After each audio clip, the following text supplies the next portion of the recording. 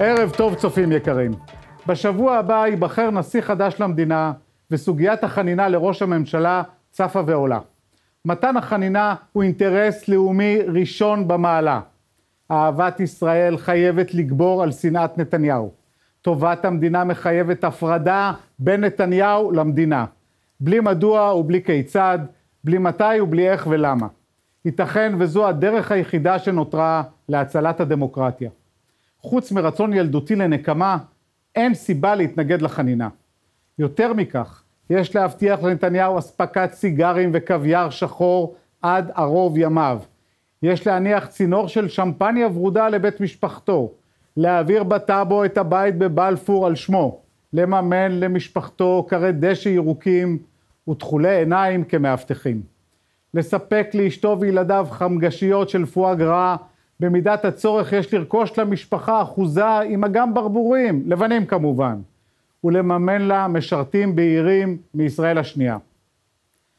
לא, אין מדובר בבדיחה, אלא בהצעה הגונה ושפויה. עבור הנאשם ומשפחתו זו עסקה כלכלית כדאית, ומי כמותם מבין בכלכלה, כדאיות ונצלנות. מבחינת המדינה זה ממש מחיר מציאה בתמורה להצלתה. הרי כל כבדי האווזים וכל כנפי הברבורים הצחורים אינם מגיעים לעשירית משוויה של כנף ציון אחת במטוסו. החנינה היא למעשה עבורנו. אחרי 12 שנה מגיע גם לנו לצאת לחופשי. ניתן לומר שסיימנו לרצות את עונשנו בעבור העבירה החמורה של טיפשותנו. רק כסילים מעוניינים שימוצה איתו הדין ושילך אחר כבוד ובבושת פנים לבית האסורים. המדינה הולכת מדחי אל דחקה. בביטחון איראן קרובה לגרעין יותר מאי פעם. החמאס חזק מתמיד. החיזבאללה צובר כוח וההרתעה נחלשה. זאת למרות מופעי השופוני וקול הבריטון. בכלכלה נוצר בולען תקציבי.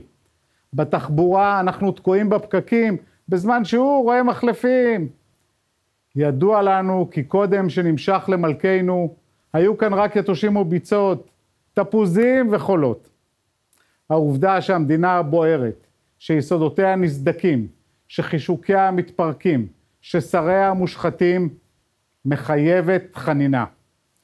אנו נשבעים כי לנצח אחי נזכור אותך תמיד כמגן העם והמדינה, צור ישראל וגואלו.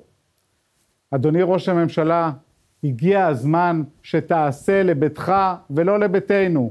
דאג לחינוך ועתיד ילדיך ולא לחינוך ילדינו. עבורנו כבר עשית מעל ומעבר. הקרבת את מרבית חייך ומיטב שנותיך למעננו. מגיע לך לנוח סוף סוף וליהנות מפרי עמלך, להתרווח ולנוח על שפת הבריכה בקיסריה, להציץ סיגר כהי ברחני ולא את המדינה, להוריד את הז'קט ולפרום את העניבה, להסתפר ולנגב את האיפור. לשוחח בשלווה עם האישה והילדים, לשחק עם הנכדים, לחיות חיים נורמליים ואמיתיים של אדם בן 72. אנחנו באמת אסירי תודה, אבל גם לאסירים מותר להשתחרר ולצאת לחופשי. גם לנו מגיע להוריד שליש על התנהגות טובה. אבינו מלכנו, עשה למענך ולא למעננו. אומרים שפעם היה כאן חלום נהדר, אבל אחרי שהרסנו לא נשאר כאן כמעט שום דבר. יכול להיות שזה נגמר, ויכול להיות שלא. ועד שנדע את התשובה, בואו ונצא לסיבוב כאן בכיכר סחריר.